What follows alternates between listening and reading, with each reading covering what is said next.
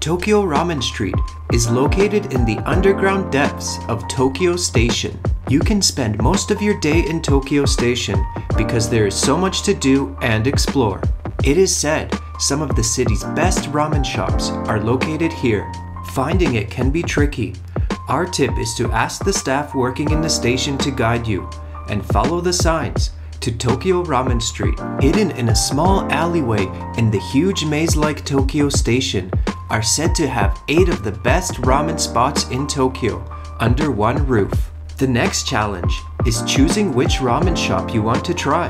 You can't go wrong, whichever one you choose. Be prepared, especially during peak season, to wait in long lineups for that steaming, delicious hot bowl of ramen. Tokyo Ramen Street offers so many different types of ramen with all kinds of options, even vegan. All the ramen shops operate on a ticket vending machine system.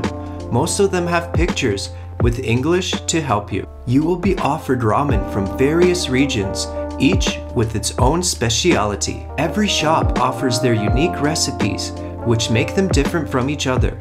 It will make you coming back for more. Tokyo Ramen Street is said to offer 8 of Tokyo's best ramen shops. Or are they? It's up to you to decide. Can you uh, introduce this video? Hi, we're at Tokyo Prison Station. I'm really hungry.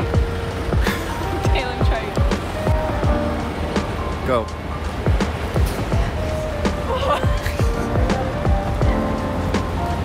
I'm just kidding. Restart it. All right, what are we doing? Okay, babe, what are we doing?